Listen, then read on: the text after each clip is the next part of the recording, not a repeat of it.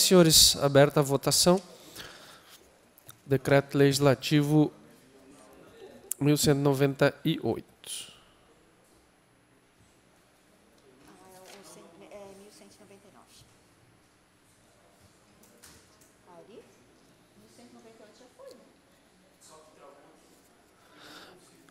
Ok.